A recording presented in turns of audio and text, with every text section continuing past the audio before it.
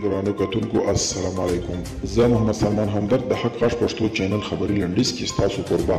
او ستاسو پام را اړوم د مهمو خبرونو لنډیز د ملګرو ملتونو د بشري مرستو همغږي کوونکو ادارې اوچا ویلي چې د روان 2021 زیږدیز کال له پیله تر اوسه اتیا زره افغانان له خپلو مینو بې ځایه شوي دي د یادې ادارې په خبره، د جنوري میاشتې له پیله اتلس زره کسان په ننګرهار او دوولس زره نور په کندهار کې د خپلو کورونو پرېښودو ته اړ شوي دي. نیویارک ټایمز ورځپاڼې د یوې مقالې په ترڅ کې له افغانستان څخه د بهرنیو ځواکونو وتلو ته په اشارې ویلي، که چېرته امریکا افغانستان یوازې پرېږدي، نو بالاخره به د اسامه بن لادن هغه نظر په حقه ثابت شي چې ویل یې امریکا به په اخر کې وتښتي.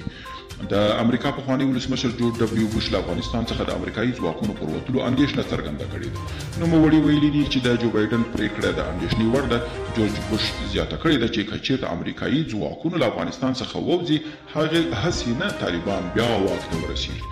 او د امریکا له سیمه ییزو هیوادونو سره په ګډه د یوې داسې طرحې پر جوړولو بوخت دي چې پر بنسټ یې امریکا له افغانستان څخه د خپلو ځواکونو تر وتلو وروسته وکولای شي په سیمه کې خپل ځمکني او یو شمېر هوایي ځواکونه په افغانستان کې د ترهګریزو فعالیتونو پر وړاندې د عملیاتو لپاره وساتي.